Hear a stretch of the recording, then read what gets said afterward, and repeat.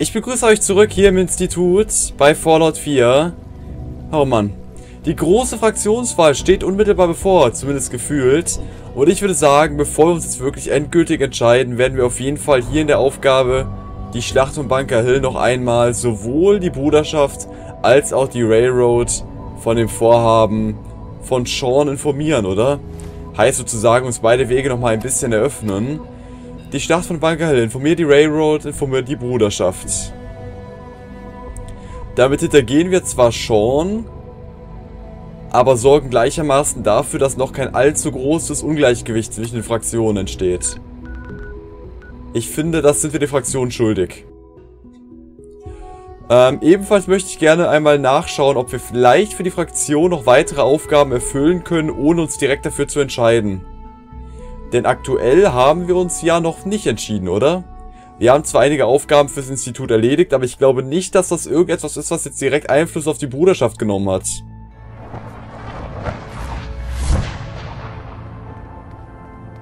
Pam will ich sprechen. Sie hat mir erklärt, warum, aber ich hab's nicht verstanden. Klingt wichtig, lieber Trommler. Desdemona? Ich habe ein echt faszinierendes Gerücht gehört. Angeblich hast du das Institut gefunden. Du warst dort und hast es überlebt. Hört sich verrückt an, nicht wahr? Ja, schon ein wenig, aber... Hm, woher willst du das denn wissen, liebe Desdemona? Wo hast du das denn her? Deacon hat mir davon erzählt. Und wie immer gibt er seine Quelle nicht preis.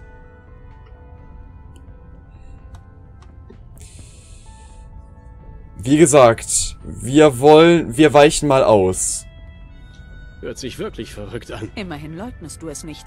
Deacon kann beweisen, dass du dich ins Institut teleportiert hast. Du bist sicher zu Recht stolz auf das, was deine Minutemen in so kurzer Zeit geschafft haben. Früher oder später werden die Minutemen auf ihre Weise versuchen, mit dem Institut fertig zu werden. Aber ich bezweifle, dass deine Soldaten großen Wert darauf legen, die Synths dort zu befreien. Ich zähle darauf, dass dir die Befreiung der Synths so sehr am Herzen liegt wie uns. Bitte, arbeite stattdessen mit uns zusammen. Oh Mann. Also glaubst du, die Minutemen würden den Sins definitiv nicht helfen? Meinst du, dass die Minutemen den Synths nicht helfen werden? Die Minutemen spiegeln den Charakter der Bewohner des Commonwealth wider. Und dieser Charakter hat sich immer und immer wieder als von Grund auf schlecht erwiesen. Die Synths sind die Blitzableiter für ihren Hass auf das Institut. Wenn sie ihnen helfen müssten, würden sie meutern.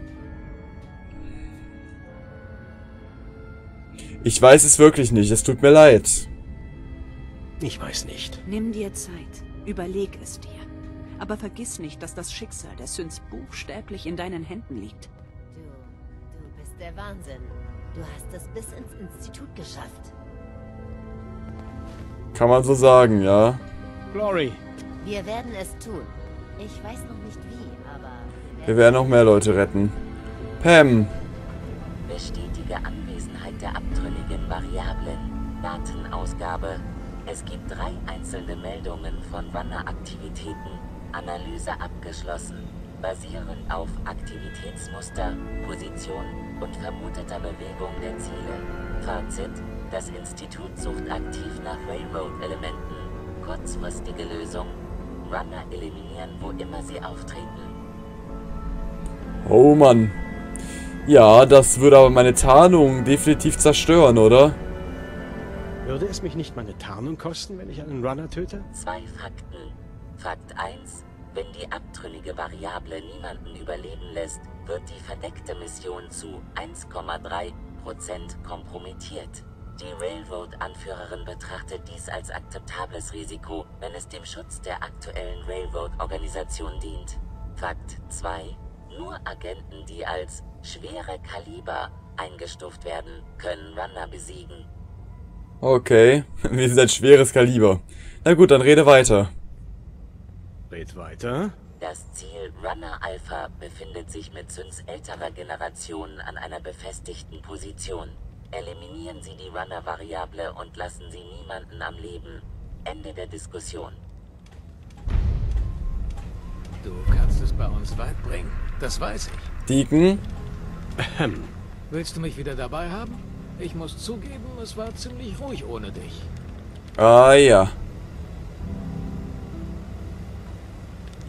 Nee, eigentlich nicht. Jetzt gerade nicht. Tja, wenn du es dir anders überlegst. Ja, ja. Mann, oh Mann, oh Mann, diese Fraktionen, diese Fraktionen. Carrington? Hey, Doc. Ich bin sehr beschäftigt. So Ja, dann tschüss. Fäh. Desdemona. Bitte, arbeite mit uns zusammen, nicht mit den Minutemen. Es geht um das Leben einer Menge Synths. Wenn das so ist, arbeite ich mit euch zusammen. Du kannst dir gar nicht vorstellen, wie sehr mich das freut. Was ich dir jetzt erzähle, ist eins der bestgehüteten Geheimnisse der Railroad. Es ist an der Zeit, dass du erfährst, wer der Patriot ist. Es gibt einen Mann im Institut, vielleicht auch eine Frau, das wissen wir nicht genau, der den Synths zur Flucht verhilft. Dutzende von Synths verdanken ihm sein Leben. Wir wissen aber nicht mal, wie er heißt, und es gibt keine Möglichkeit, ihn zu kontaktieren. Also haben wir ihm den Codenamen Patriot gegeben. Daher musst du das Institut infiltrieren und Kontakt zum Patrioten aufnehmen. Okay, das klingt alles andere als einfach. Es wird schwierig werden, mit ihm Kontakt aufzunehmen. Zum Glück hat Tom eine Möglichkeit gefunden, wie wir es schaffen können. Wir können eine verschlüsselte Nachricht auf einem Institutterminal hinterlegen. Und wenn alles gut läuft, antwortet er. Geh einfach zu Tom. Er erklärt dir alles weitere. Verdeckt im Untergrund. Tom? Du warst da tatsächlich drin? In der Höhle des Löwen? Wenn Ja, sozusagen. Holoband gegeben haben, bräuchte ich das bitte. Alles, was Institutssicherheitsvorkehrungen überlebt hat, ist Gold wert. Ich weiß es nicht. Hey. Ich weiß nicht so recht. Kann ich verstehen. Das Institut infiltrieren, ich würde mir in die Hose machen. Aber ich bin hier, wenn du es dir anders überlegst. Sprich mit Tom. Er sagt dir, wie du mit dem Patrioten... Verstehe ich das richtig, dass wir hier jetzt schon die erste Entscheidung treffen, welche Fraktion wir nehmen?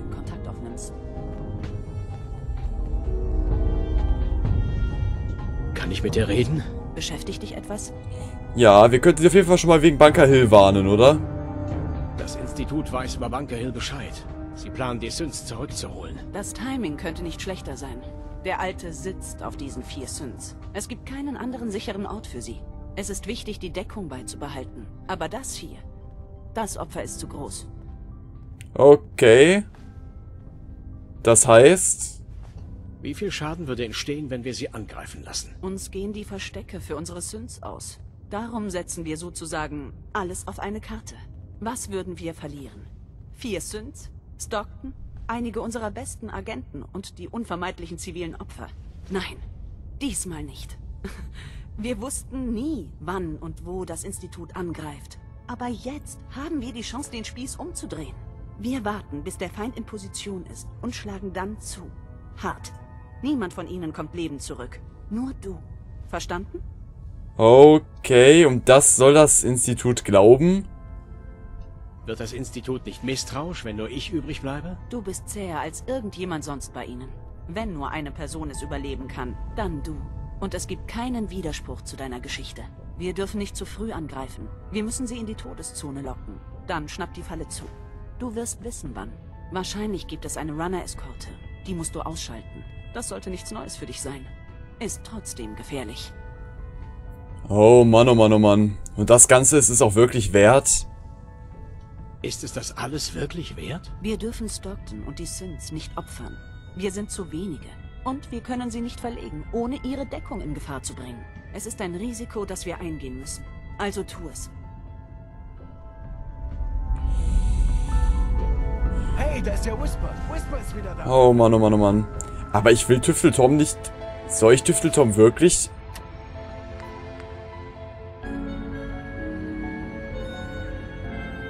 Ich will dir das nicht geben, um ehrlich zu sein. Das ist doch schon definitiv eine Entscheidung Minuteman oder Railroad, oder?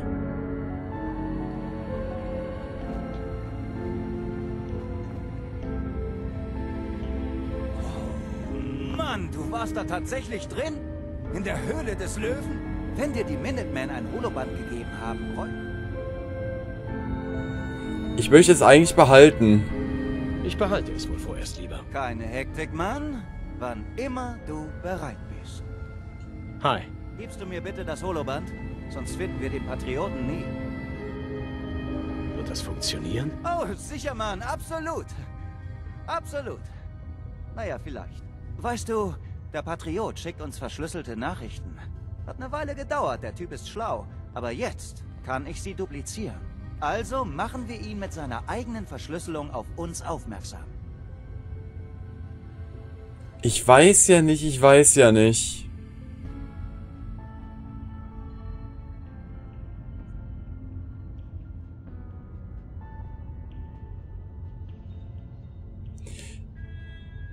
Ich behalte es wohl vorerst lieber. Keine Hektik, Mann.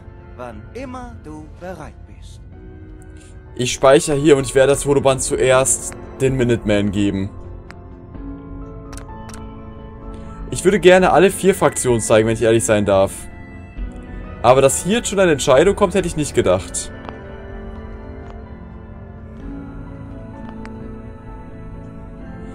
Das hätte ich nicht gedacht.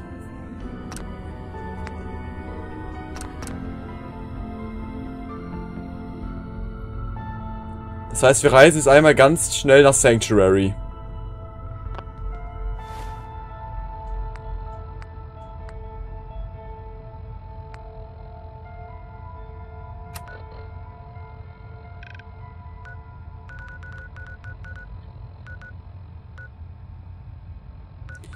Wobei, wir könnten natürlich auch zuallererst die Aufgaben weiter erledigen, die Institutaufgaben, bis uns da wirklich die Entscheidung abgefragt wird.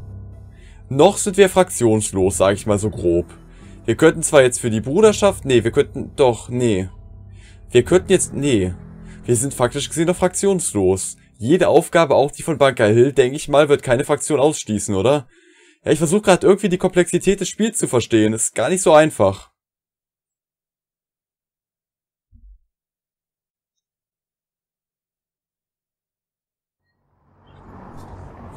So, jetzt sind wir auf der Pridwin. Wir werden jetzt erstmal hier Bescheid sagen und den Plan des Instituts ausplaudern.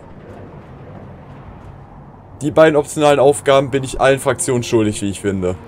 Du bist also der neue Leader, von dem ich gehört habe. Gut möglich. Oh Mann.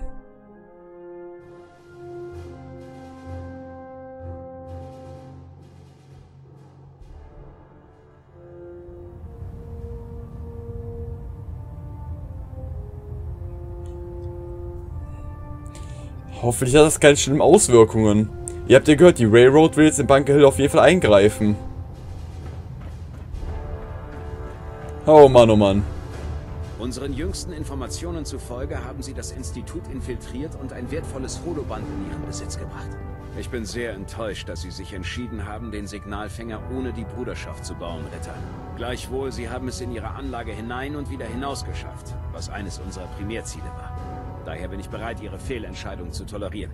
Die unerwartete Beschleunigung unserer Pläne durch sie führt zu zwei neuen Missionen. Zuallererst sollten sie Proctor Ingram das Holoband bringen. Auf dem Band könnten wichtige Informationen für den Erfolg unserer Mission gespeichert sein. Die dürfen wir uns nicht entgehen lassen. Der zweite Teil ihrer Mission ist etwas komplizierter. Vor etwa zehn Jahren begann die Bruderschaft zur Unterstützung bei verschiedenen Projekten Wissenschaftler aus dem Ödland der Hauptstadt anzuheuern. In dieser Zeit konnten wir auch Dr. Madison Lee verpflichten, eine bekannte Größe auf dem Feld der Nukleartechnik. Ja, die kennen wir ja bereits, und zwar doppelt, sowohl aus dem Institut als auch aus Fallout 3. Wie ist die Bruderschaft auf Dr. Lee gestoßen? Sie war Teil eines zivilen Projekts im Ödland der Hauptstadt, das die Bruderschaft übernommen hat. Es war nicht allzu schwierig, sie zum Bleiben zu bewegen. Wie dem auch sei, Dr. Lees Beitrag zu unserer Arbeit war entscheidend für die Aufrechterhaltung der Ordnung im Ödland der Hauptstadt. Nach einer Weile kam es zu Meinungsverschiedenheiten mit der Bruderschaft und sie wählte das Exil im Commonwealth. Wir sind uns ziemlich sicher, dass sie Kontakt zum Institut aufnehmen wollte.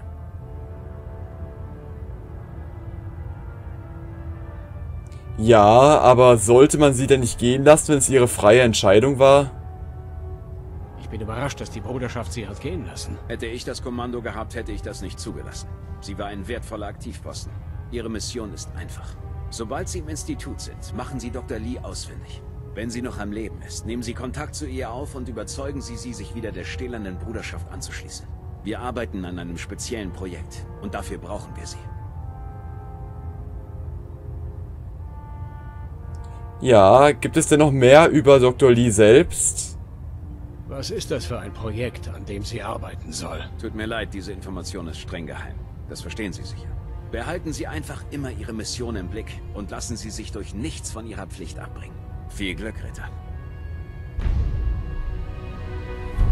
Finde Dr. Lee.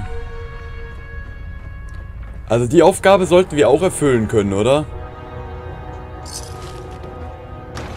Ja, wir werden das Holoband noch nicht übergeben. Wie gesagt, drei Fraktionen sehe ich aktuell, drei Möglichkeiten.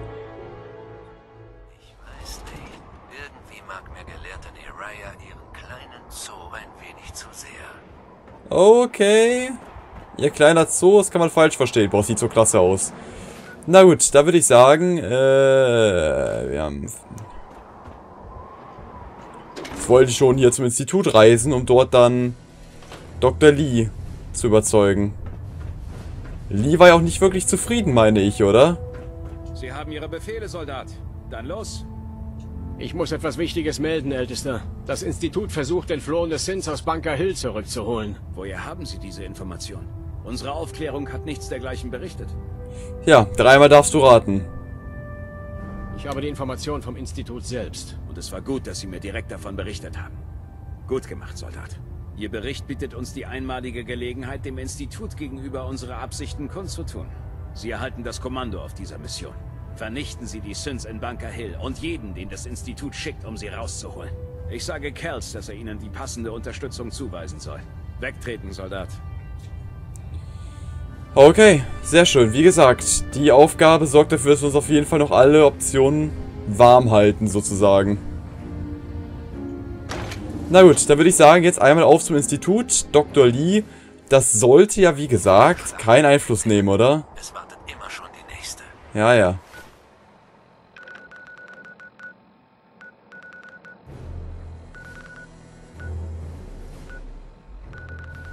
Das Institut. Mann, oh Mann, oh Mann. Also ich würde gerne zuallererst die Entscheidung der Bruderschaft treffen. Zuallererst würde ich mich gerne für die Bruderschaft einsetzen. Weil ich auch aus Fallout 3 eben die Ideale der Bruderschaft sehr schätze. Damals, wie gesagt, durch den ältesten Lions mit der Aufrechterhaltung der Ordnung. Und der war halt auch tolerant. Lions hätte sicherlich die Sins, die wirklich menschlich sind, sage ich mal vorsichtig, akzeptiert. Glaube ich. So wie Sie Vater in die Welt gebracht haben. Ah, ich weiß ja nicht. Ältester Maxon will, dass ich während meines Eindringens in das Institut Dr. Madison Lee kontaktiere und sie davon überzeuge, für die Bruderschaft an einem Spezialprojekt zu arbeiten. Na, wenn das mal funktioniert. Nee, glaub mir, Sean ist anders auf die Welt gekommen als ihr. Erzählst du mir etwas Es ist alles so merkwürdig. Und es ist so schwierig, sich zu entscheiden. So unglaublich schwierig. Hä? Hier?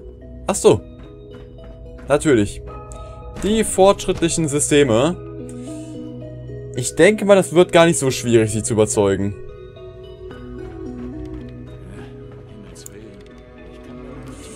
Oh Mann.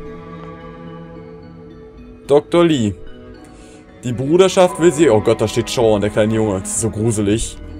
Dr. Lee? Du schon wieder? Was ist es denn diesmal? Du bist offensichtlich aus einem bestimmten Grund hier. Da du mein Experiment ohnehin schon ruiniert hast, kannst du es mir jetzt auch sagen. Okay. Ja. Raus damit. Die stählerne Bruderschaft hat mich geschickt, dich zu finden. Du redest nicht um den heißen Brei rum, das muss ich dir lassen. Ich wusste, dass es nur eine Frage der Zeit ist, bis deine Leute mich finden. Ich fühle mich schon seit fast zehn Jahren ständig beobachtet und habe nur darauf gewartet, dass sie jemanden wie dich schicken, um mich zu töten. Nein, du sollst nicht sterben. Ich bin nur mit den besten Absichten hierher gekommen. Darauf gebe ich dir mein Wort. Du gibst mir dein Wort, obwohl wir uns gerade erst kennengelernt haben? Na gut. Hm. Da Vater dir traut, bekommst du auch von mir einen Vertrauens... Ja, der Vertrauensvorschuss geht aber nicht auf meinen Controller, wie ihr sehen könnt. Vorschuss. Ich stimme vielleicht nicht mit allem überein, was er sagt, aber ich weiß, dass er mich nie wissentlich in Gefahr bringen würde. Sag, was du zu sagen hast und dann lass mich in Ruhe.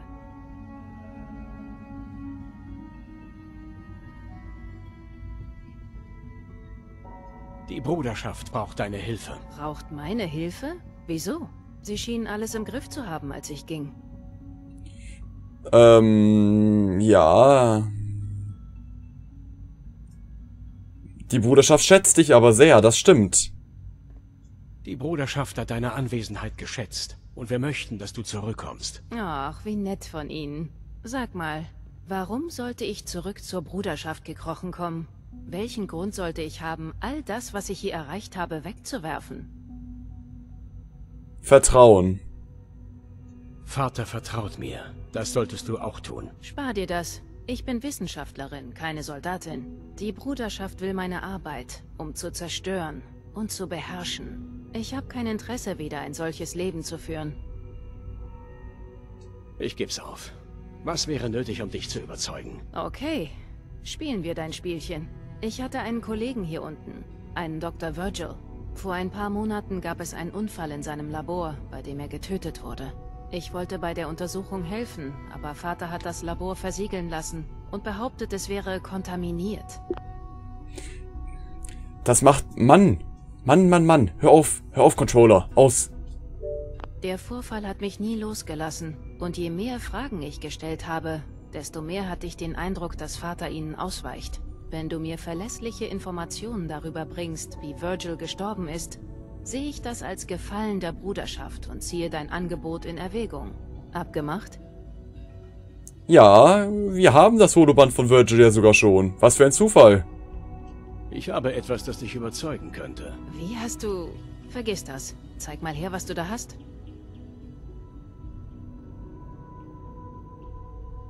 Woher weiß ich, dass du dich an unsere Abmachung hältst? Ich habe nicht versprochen, dass ich zur Bruderschaft zurückkehre. Ich habe gesagt, dass ich es in Erwägung ziehe. Du wirst mir einfach vertrauen müssen. Wenn die Bruderschaft es nicht tun würde, hätten sie dich nie geschickt, um mich zu finden. Und jetzt gib her. Na gut, wir haben wohl keine Wahl, oder? Aber es sind sicherlich schlechte Neuigkeiten. Hier, nimm. Ein Holoband. Ich hoffe sehr, dass das keine Zeitverschwendung ist.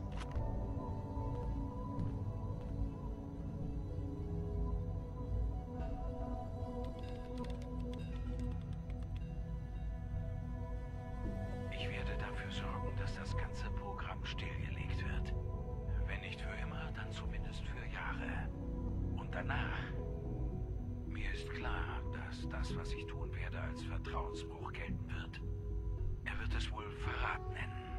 Also gehe ich. Ich habe einen Plan. Und wenn der funktioniert, bin ich an einem sicheren Ort, an dem mich nicht mal die Runner finden werden. Sie haben mich belogen. Sie haben mich belogen und ich habe nicht mal gemerkt, wie weit die Lügen gehen. All die Jahre der Treue. Für nichts. Oh Mann. Du musstest die Wahrheit erfahren, oder? Es war doch Zeit. Ganz egal, wie sehr es schmerzt. Du musstest die Wahrheit erfahren. Und dafür danke ich dir. Ich bin ins Institut gekommen, um Abstand zur Bruderschaft und zur ganzen Welt zu gewinnen. Ich wollte einfach in Ruhe forschen. Vater nahm mich auf und gab mir Zugang zu Technologie, von der ich nicht mal zu träumen gewagt hatte. Ich war arrogant und stumpfte mit der Zeit immer mehr ab. Ich dachte, das Institut will etwas zum Wohl der Menschheit tun. Vielleicht auf eine eigene, etwas verdrehte Art, aber immerhin. Aber jetzt weiß ich, dass alles vergebens ist, wenn man den Leuten, für die man arbeitet, nicht trauen kann. Wenn sie wegen Dr. Virgil gelogen haben, wer weiß, worüber sie noch gelogen haben. Oder was sie wirklich mit meiner Arbeit anstellen wollen. Ich werde zur Bruderschaft zurückkehren, aber ich muss das allein machen. Ich kann nicht riskieren, mit dir gesehen zu werden. Sag dem, der dich geschickt hat, dass er soeben Dr. Madison Lee erneut angeheuert hat.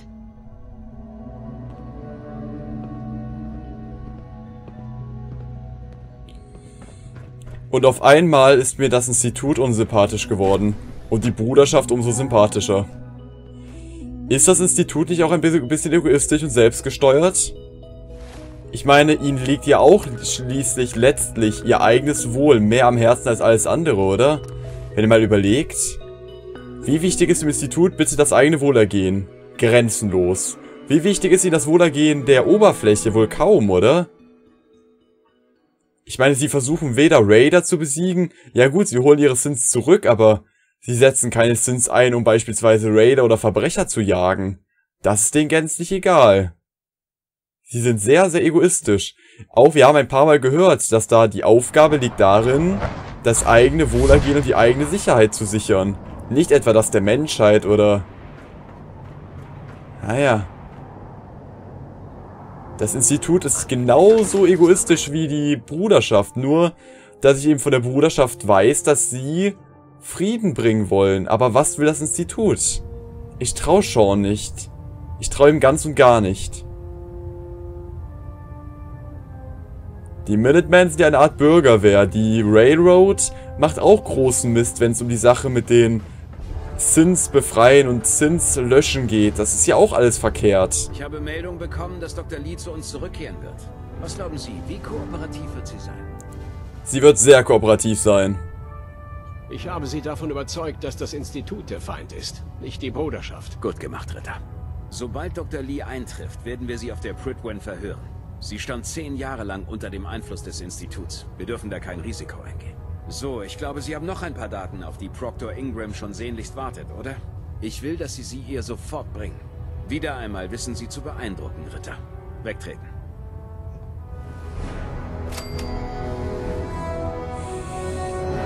Ja, die Aufgabe konnten wir jetzt auch erfüllen.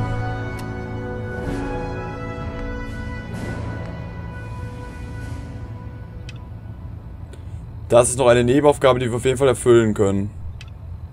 Die Schlacht von Bunker Hill müssten wir auch lösen können.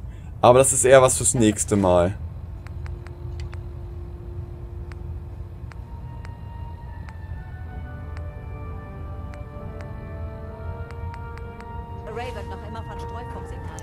Dann würde ich sagen, beim nächsten Mal werden wir ähm, die Schlacht von Bunker Hill erledigen. Entfernung der Variable Reap Yachthafen. Ein unkontrollierter Runner kann der Railroad erheblichen Schaden zufügen, also muss ich ihn eliminieren.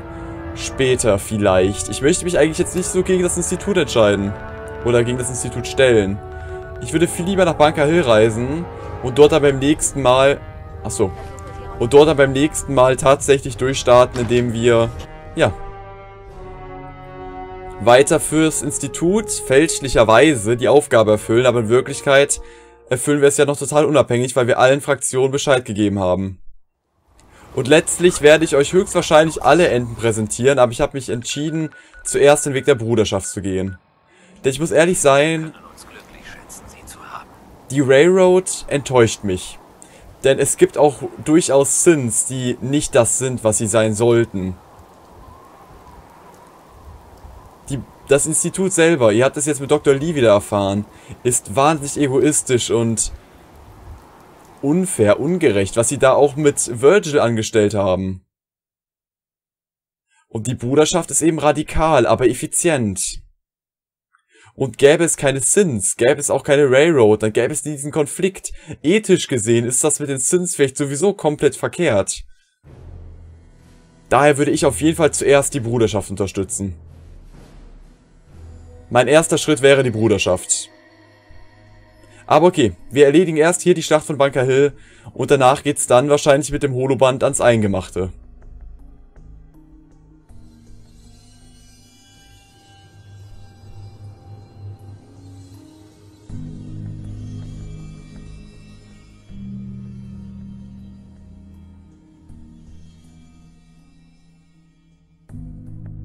Oh man, Leute, es tut mir leid, aber es ist so schwierig. Wirklich, wenn ich schweige, dreht sich mir im Kopf alles hin und her, weil ich nicht weiß, welche Fraktion ich mich anschließen soll. Es ist unglaublich verrückt. Okay. So, Leute, Bunker Hill. Die Schlacht von Bunker Hill. Ich bin gespannt, was sich hier ergeben wird und vor allen Dingen, wie das Ganze jetzt wegen dem Wissen aller Fraktionen aussehen wird. Ich sag schon mal vielen Dank fürs Zuschauen. Beim nächsten Mal machen wir hier weiter mit Fallout 4. Und ihr merkt, langsam aber sicher kommen wir in die heiße Phase, in der es heißt, leben, leben lassen, sterben, töten oder töten lassen oder so ähnlich. Ich sag schon mal vielen Dank fürs Zuschauen und bis zum nächsten Mal hier, dann mit der Schlacht von Bunker Hill.